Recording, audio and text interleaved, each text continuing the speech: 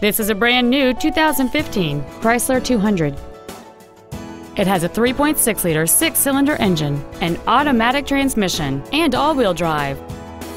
With an EPA estimated rating of 29 miles per gallon on the highway, it's easy to see how you can save.